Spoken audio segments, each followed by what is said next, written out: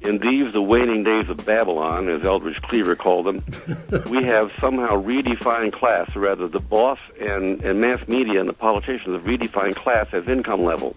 That's sloppy thinking. It doesn't work. Where does that slide to? No, class is defined as by your relationship to the means of production. If you don't own the machine you work at, if you don't own the tools you work with, don't own the workplace, if all you're selling is your labor energy to get a wage and a boss, you're in the working class whether you're a college professor or a ditch digger, and that's that. Knowing that is class consciousness.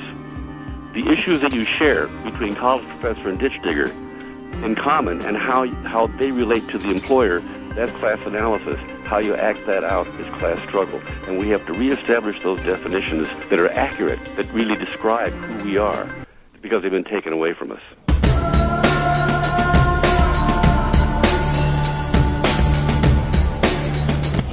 One thing no one foresaw was the rebellion of a number of young people today against the establishment. An establishment represented by their elders, as well as institutions like the News.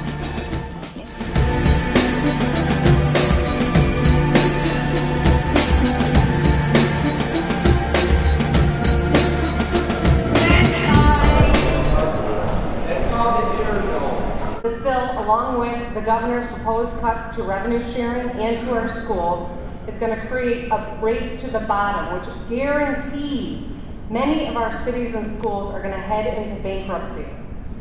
How does this fit into the primary objective of Jobs is Job One? How does eliminating accountability to boards and councils better serve the taxpayer? How does this legislation promote the governor's mission of Job One being jobs and ensuring that we have the innovators of tomorrow coming out of our schools? And how does this move all of Michigan forward, which we've heard the governor state over and over again? I mean, if you are a family or a business, would you choose a school district or a community that's in bankruptcy to locate in? How does this legislation entice businesses to come to Michigan? When the sanctity of contracts is not honored? How is paying an emergency financial manager more than what the governor makes shared sacrifice? I can't believe that some of my colleagues can honestly go back to their constituents and communities after taking this vote. This impacts 100 local communities with Governor Snyder's cuts to public safety via revenue sharing proposal.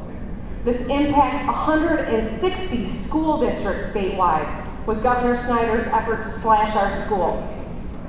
Many of these cities and schools are in your districts. How can you stand by and cast a vote like this?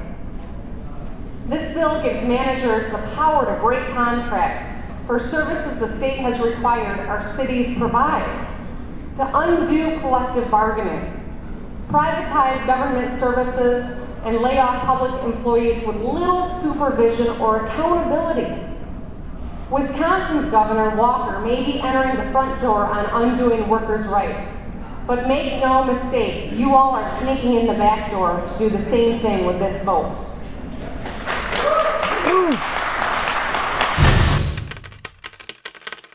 Who are you? My name is Bob. I'm from Flint. Well, I think we I think we need to be responsible in both our in our budgeting. Yes. Certainly. What kind of lesson do you think it teaches these kids here today to say that the economic problems that all states are facing are the problems of uh, their teachers um, and public workers? My what kind of lesson about education or justice or governance does that teach them? My responsibility is to the people of this state. Excuse me just a moment.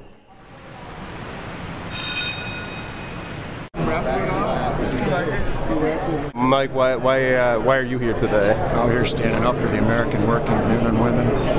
We feel we're getting trampled on. We feel that the Republican majority in this state and other states are walking over our rights, trying to take away our collective bargaining rights. We've got a hearing right now going on on the project labor agreements, which work on campuses, which get things built on time, under budget, efficiently, quality labor. We're trying to make those illegal. Later today, they're going to pass the emergency management financial bill emergency manager bill. They're looking to basically take away not only collective bargaining rights with that, but also take away local control from local governments. Be able to basically appoint a czar to any municipality, school district, and give him the power to do everything, cut the public right out of the picture. You know, Or not even an, an individual, uh, a consulting firm of some kind. Well, a specific individual, as I understand it, the governor would be able to reach out to a specific individual from either the private sector or the public sector tap him into running that municipality or that school district and have unlimited power to do what he wants with it. to get rid of contracts and in of school districts as well. To get rid of contracts, to get rid of busing services, to stop busing services, to eliminate sports programs, to eliminate police and fire in the cities, uh, uh, severely restrict wastewater treatment plants to subcontract out power plants, wastewater treatment plants, and those types of things.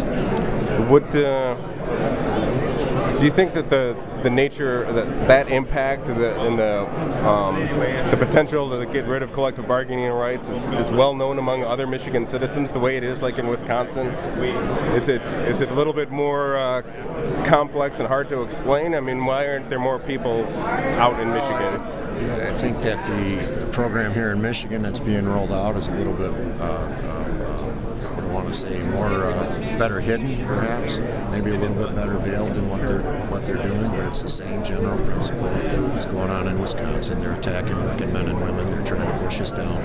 This affects union. It affects non-union management, non-management, lower-level managers. It affects all of us. It's Uh-huh. working people in this country that are getting trampled on, and it's happening here in Michigan, and it's just waking up in Michigan. Any uh, anything you'd like to uh, I don't know say to people to get them to uh, join in a fight back? Oh, I would strongly urge all the working men and women in this state to get out and experience this. This is something that you will never experience before. You've never experienced before, and it'll be a long time before you experience it again. And if you don't get out, look to lose more of your houses and more of your cars. So Harold, what uh, brought you uh, from Flint to Lansing today? Well, the debate on project labor agreements. Okay, what uh, what would the impact for, for you and your members be? Project labor agreements make sure the people that work on these jobs in our communities are trained and they get the prevailing wage and it keeps the standard up. They pay taxes in the community. They don't 1099 us. We're tax paying members of the community. Right. And uh, tell me exactly how what there were uh, this legislation would do would would Well, change this that. legislation, if they allow untrained, unqualified people into the certain jobs, would be a race to the bottom. I mean, you'd have competition from down south who would come up here and work for less than minimum wage. They'd take their money home with them. They wouldn't spend it in the community, and everybody would lose. What uh, the the other piece of legislation is the Emergency Financial Managers Bill, which I, I suppose affects people unless you're uh, a city worker more as a citizen, but even as a citizen or uh, a student given the school district. Well, that would affect us too if they pass that emergency finance bill.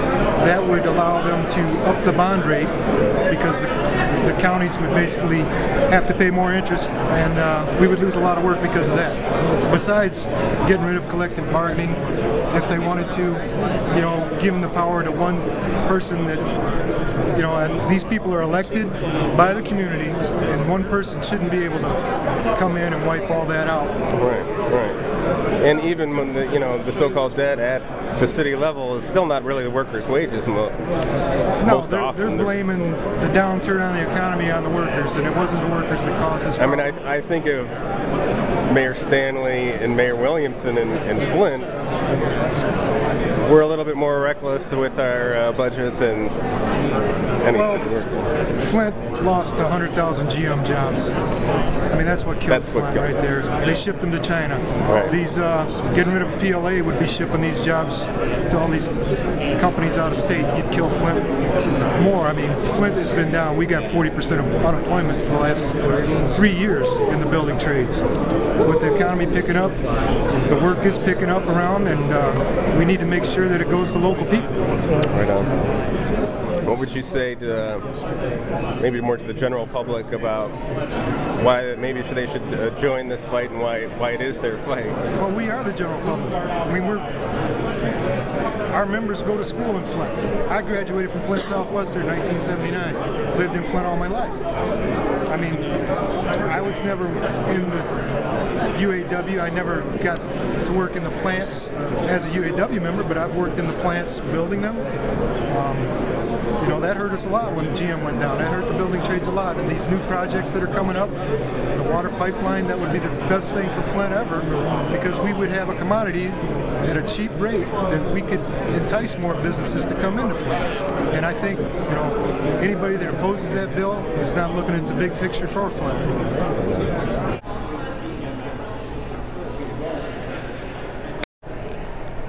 Do you think that the emergency financial manager bill is an example of uh, sharing sacrifice? I think the emergency financial managers bill is an attempt, and at this point, a successful attempt by the government of the state of Michigan to hire cronies to effectuate terrorism, gangsterism, and hooliganism that dates back past the date the unions were organized. They are destroying our rights, taking away our benefits. People who are elderly and seniors have no hope with the governor signing this bill. This isn't just in those states or in those cities and towns that have issues financially. This affects the whole state. It's not people who are union or non union. This is impacting everybody. So it's down to the wire. We are in dire doo doo. Anytime you work on uh, destroying uh, things that are associated with collective bargaining and removing the middle class, um, certainly that's of concern to all of us, all of us uh, citizens in the U.S., and certainly now at this point, all of the citizens of Michigan. To disenfranchise voters, to kick elected officials out of office, and to tear up bargain agreements, not the way to go. It's un American. So, what uh, brings you to the Capitol today? today? Uh, to stand in protest of the Senate Bill 2414 and 18. Those are the uh, well, the uh, emergency financial manager bill, Yes. and the uh, what was it? The worksite bill that was different. That's later. That's later. Yeah, that's 3 o'clock, the PLA thing. PLA, correct. Yep. So what what do you think the impact is going to be uh, with the emergency financial manager bill having just passed? I can see it being really bad eventually. They come in, take away their teachers' rights, the firefighters, the police officers, take away their rights for collective bargaining, to, to negotiate a fair wage, to come in and cut their wages at whatever the financial manager seems fit to be. I, I, I can't see where you can justify that. To where the financial manager can make $400,000 a year, and he's decided on the wages of thirty to $50,000 a year salaries. It's it's almost like make believe like Oh yeah, absolutely, absolutely. And again, I earlier when the Wall Street bailouts come and the Wall Street received their bonuses, they were screaming, "We got contracts. You owe us this money. It's ours." right. There's contact, contractual agreements that will stand up, and you have to you have to hold these things up because they're they're signed by both sides, and it's due us. Yeah. Not now, to where they can come in and decide that because of the law now that you're you guys are in financial trouble and we can take away your collective bargaining and cut your pay, but yet we got ours. It's not. Uh, I was uh, asking one of the senators. He didn't really give me an answer, but uh, you know, the kids who are here touring today. What kind of lesson to that to them is that about equal sacrifice and true justice? When we know where the root of the problem is, Yeah. and look what we're doing about it. when when you give 1.3 billion dollars in tax cuts to big business and expect the retirees in the state to carry that load when they're on a fixed income already. Raise their taxes. Yeah. Yeah. Great, great. Yeah. My dad retired from GM, and his monthly payment's twenty eight hundred dollars a month. You know. How you dare want- he? and, and you want, yeah, yeah, it's where they're making. They say they're making hundreds of thousands of dollars on retirement. It's false. Right. It's not even close. Yeah, and the older they are, the pension less payout is. is less. Yeah. Yep. Yeah, these guys that retired 10 years ago that are making $1,500, $1,200 a month in retirement wage. Or even old timers I've heard get as little as like 500 in, in a Yeah. pension. Yeah. I mean, come on. Yep. And, and at, at that point, you know, when are we going to say enough's enough? We start. We got to. We got the working poor is what we have anymore, mm-hmm. and they want to justify their wages and all that by cutting down everyone else's. Mm-hmm.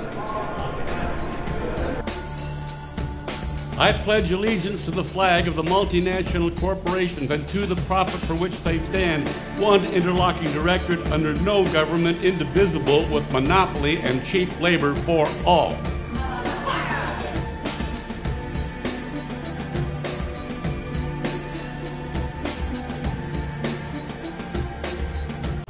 So we can't tax ourselves into prosperity. Okay. But why are we raising taxes on fixed income people? I'm not convinced we are. Well, isn't that one? Of, isn't that the proposal? That's what the governor proposed, yes. Okay. Can I ask you about? Um, do you think like these emergency financial manager situations create tension between rural and urban? And if so, how does that? Is that good for Michigan's future? I don't think that there's correlation between urban and rural. I think we're all suffering from some of the same economic conditions. Right on. Yeah. Um, do you think that the this bill is is uh, an example of shared sacrifice? Um, I think what it is, it's a recognition that maybe the old way of doing business isn't going to be viable into the future. I think that maybe we got to take a look at some of our practices and make them as best as possible. Well, I mean, it's pretty clear that the blame is for places like Bank of America, and it doesn't really seem fair that uh, public workers and teachers have to pay the bill for that. I mean, can you understand that that reaction people have? Well, you know, I think that there's got to be a, a better understanding of what we're trying to do, and that is economic stability going forward. And, um, you know, I think maybe it'll start some conversations now that are maybe overdue. About collective bargaining? No, about uh, just the way that we operate local and state government. I think there's an examination from top to bottom underway, and we want to be able to continue to offer education, continue to offer the police and fire protection at home for the dollars that we have to spend on it. I mean, I it, appreciate it. I gotta. okay.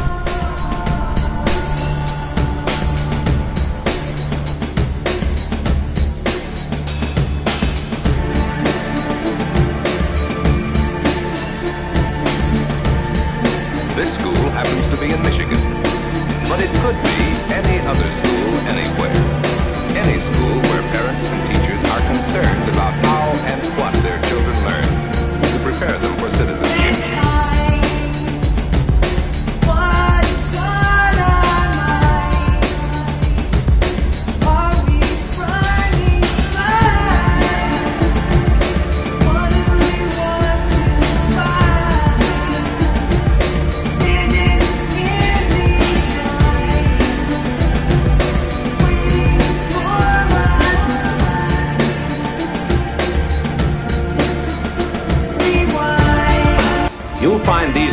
Interested in learning because they had a part in making the decisions.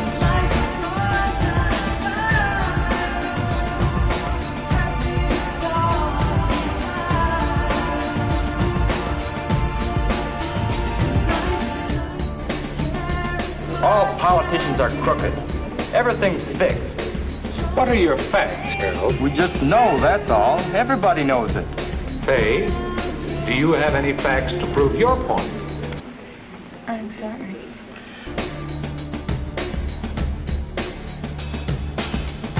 There comes a time when the operation of the machine is so odious that you cannot even tacitly participate. You've got to place your bodies on the gears, the wheels, all the mechanism, and you've got to indicate to those who own it and those who run it that unless you are free, the machine will be prevented from working at all.